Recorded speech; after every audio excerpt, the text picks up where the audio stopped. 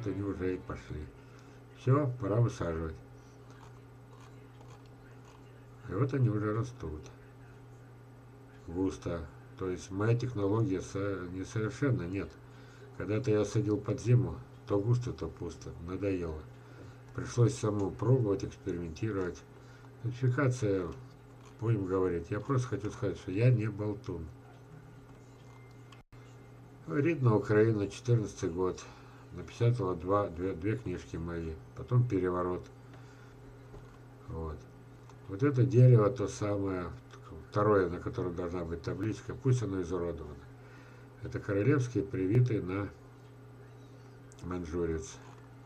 Вот. вот это вторая ветка, вот она. Она погибла окончательно. Это Серафим. Это был родной Серафим. С него ветки не брали, никому не надо было. Я в фильме как говорю, ребята, я стою возле цела, он плодоносит, видите, это Серафим. Он не самый крупный, но надежнее уже трудно представить. И это, ну, слов нет. Столько у него достоинств. И вкуснейший. И долго созревает, значит, у других абрикосов нет, а у меня еще есть. Все было хорошо. Ветка рухнула, но до этого никто ни одной веточки не заказал. Все. Пропало первое дерево. Сейчас я вам показываю фаину. Какой смысл в показе? Вспоминайте. Значит, меняется. Надо умудриться маточное сохранить. А вот маточное, вот оно и было. Сперва соседка скандалами заставила отпилить ее, в принципе. Ветка лежала на их как, э, сарае, а считалось, что сарай как бы гниет. Ну, отпилил. Вылез вот этот побег. Пришла пора, и он погиб. Это еще не все. Значит, получается так. Это еще живо можно с ней ветки нарезать. Так. Но уже сразу говорю, оно и так уже наладан дышит. Видите, какие у него раны. Вот. Только для избранных. Этого опоздали. Нету больше маточного Серафима. Нету. Я не виноват, у меня две руки. Было бы у меня 12. А вот это я показывал в прошлый раз. То есть я сказал так.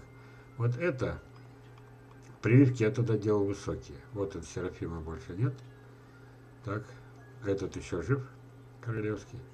Рекорд 25 уже много-много лет, уже 10 лет назад, как состоялся. Потом дерево начало угасать.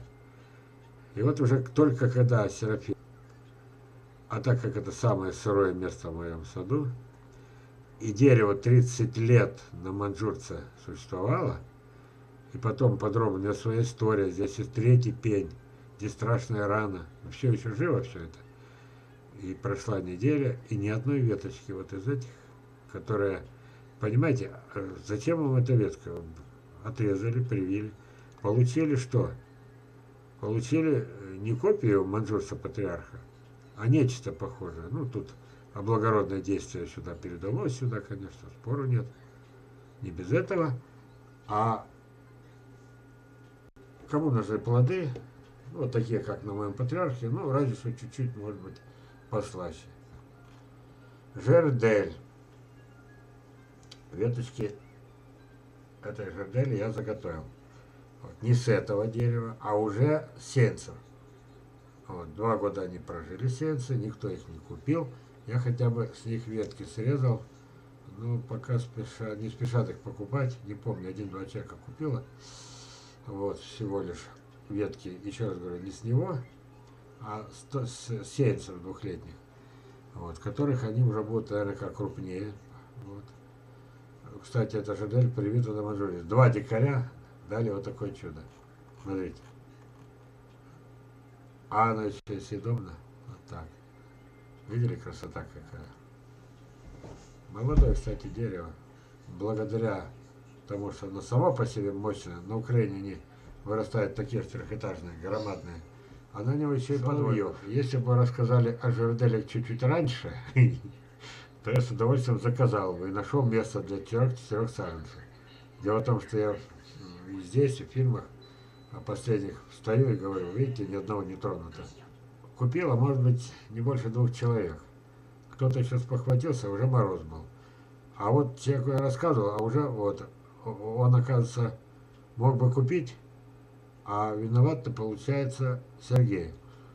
видите как, у меня был заказ у вашего сына, но он не предложил мне то, что было выгодно ему и мне. Я надеюсь, что вы научите своего сына, в скобках, немного украинской наглости. Я вот так отвечу, как бы заступлюсь за него. Я э, приходил несколько раз, а за все годы раз 20 на рынок, где торговали, видели фотографию. Наши чудо-богатыри, лучшие садоводы, и у них саженцы у двух-трех ничуть не хуже, чем у Сергея. Стою, разговариваю, подходит человек, я замолкаю. Сколько стоит? Вот там 300, потом через год 400, 500. Сейчас где-то на уровне 500-600. Тут же рядом продают узбекские, которые умрут все от тысячи. Тысячу привезут, тысяча умрет. По такой же цене продают, да? Вот. Попробуй дороже загниться. Вообще никто не купит ни одного. Иногда не выдерживаю. Человек спросил цену, пошел дальше. Второй прошел, пятый, десятый.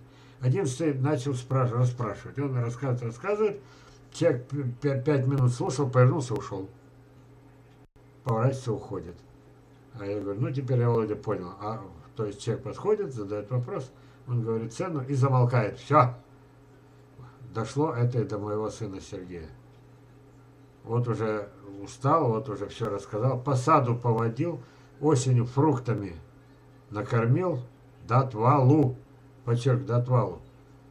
До жарделии, вот как здесь, невозможно уже, я по, по себе знаю.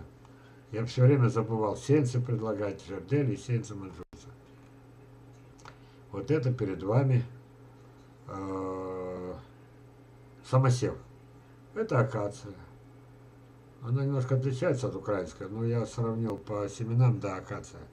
Спутать невозможно, эти пропеллерные семена. И вот, значит, самосев. Вот так оно вырастает в природе.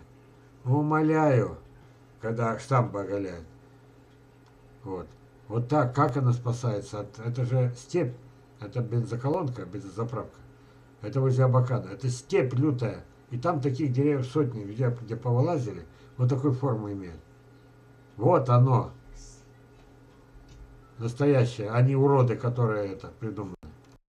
Это тоже акация. И вот на той стороне дебильные вот эти деревья, вон они падать собираются. Тоже акации. Вот. Но здесь-то кто-то, это дикорос, кто-то считает, что это красиво. Ну никак, вот, понимаете, ну, а это я посмотрел, площадь, вот это вот сквер, да,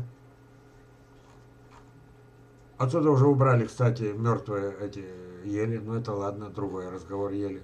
Вот. Кто сказал, что это некрасиво? Надо приучить наш глаз, что вот это красиво. А вот это урод. Надо руки оторвать тому, кто подошел, и кто-то ж это делал. Уж не у молодого дерева отрезали вот это. Кто-то подошел сказал, так, чтобы завтра дерево было исправлено. Поняли, да? Раны-то видели какие? Это не саженца срезали. А потом оно вырастет и упадет на голову.